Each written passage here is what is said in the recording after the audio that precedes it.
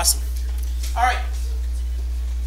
Okay, now what we're talking about, we learned a couple chapters ago about conjugating regular AR verbs. Uh, today what we're going to be talking about is we're actually going to be talking about conjugating ER and IR verbs. So, ER, IR verb. Okay, what's a verb conjugation? Why do we conjugate verbs? Just to remind us. To make the verb match the subject. Yeah, to make the verb match the subject. To say, instead of saying to eat, we say I eat, or you eat, or he eats. Okay, but changing it to match who it is that's actually doing the verb. Alright, now I'm going to review the AR verb conjugations just to remind us, and then we also have something to look at as we go over the new ones. AR regular AR verb conjugations, in the yo form, I form, what is the ending? We normally will drop the AR and we add what? Oh, like hablar becomes hablo. Tú form would be what? As. Okay, tú hablas. Él y usted. A. Él habla, ella habla, usted habla. Nosotros hablamos. Okay, nosotros hablamos. And again, vosotros we don't really worry about because we are in Southern California. That would be habláis. And, or ICE, AIS. And uh, for ER and, sorry, ellos y ustedes is AN. Ellos hablan. Okay? To remind us. Now, this should be something that you already know. It makes sense. If you haven't learned this quite yet, you need to got some work to do. Now we are going to go over our ER and IR verb conjugations. If because how many endings are there for verbs? Three. AR, IR, ER, and IR. Right. So we're going to have them all right here. So when we have a verb that is an ER verb, okay, and we want to conjugate it. Now let's put up our pronouns here just to help us. Yo, tú, él, ella, usted. Nosotros. Okay.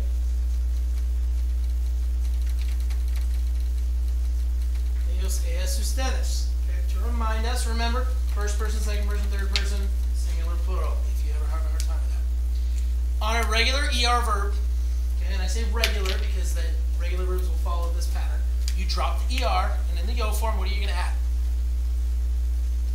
Any ideas? Oh. In the to form, okay, you're going to drop the ER and you're going to add ES, S. In the LA usted form, you're going to drop the ER and add E, or A.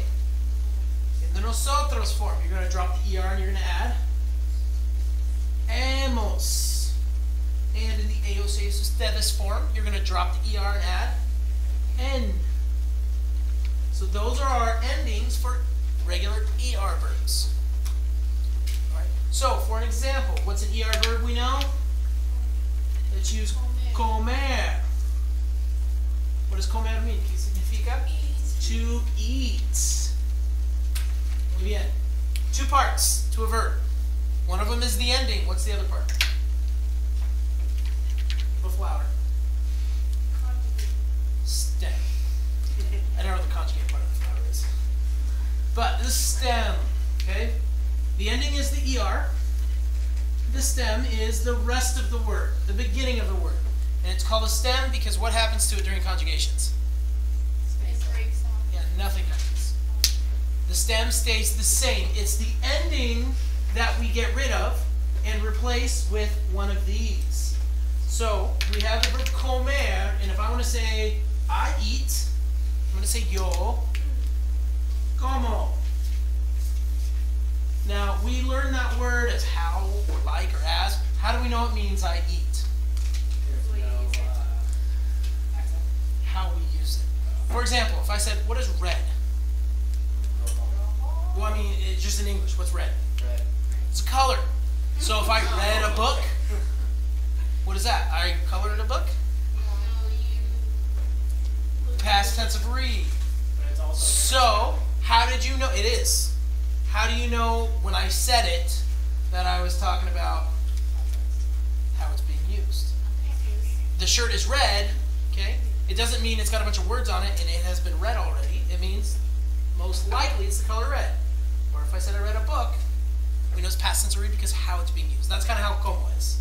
If I say, oh, yo como el almuerzo, that means I eat lunch, not I have lunch or I like lunch, as far as like your ass.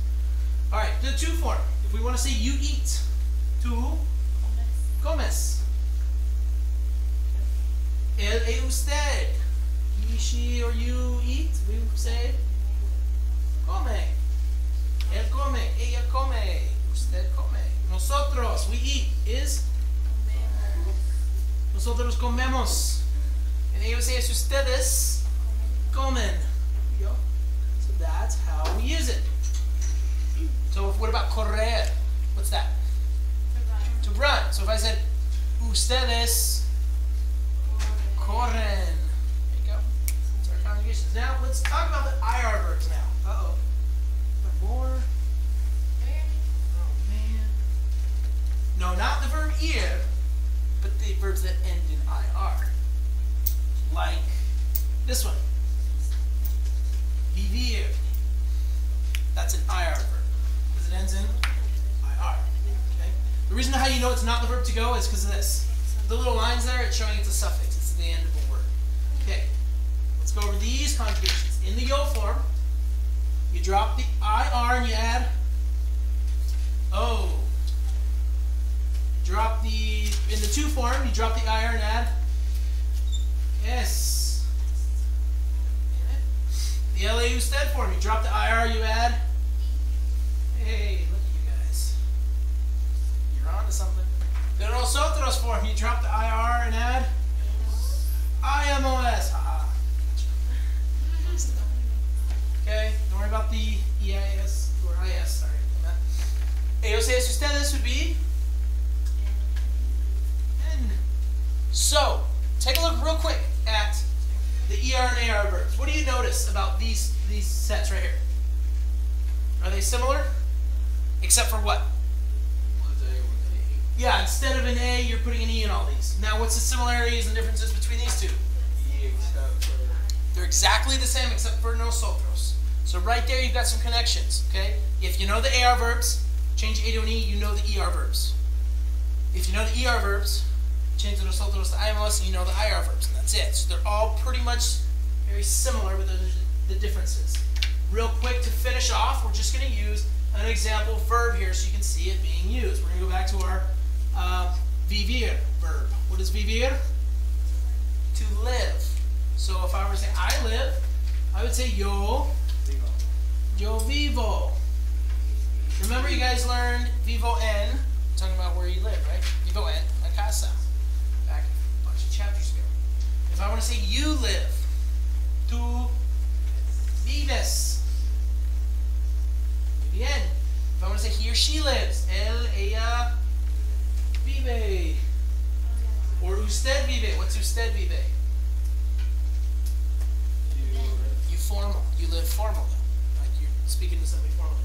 If I was saying we live, I say what? Vivimos. And if I want to say they live, viven. How does that confuse people when, you know, you just So, what do you mean? like if you're saying it for you when you're like, what if someone doesn't know that you're talking to them formally?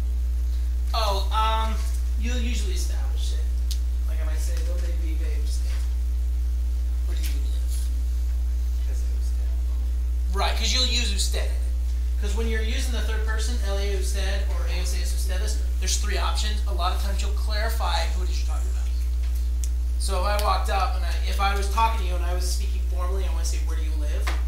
I would, I would literally say, donde vive usted?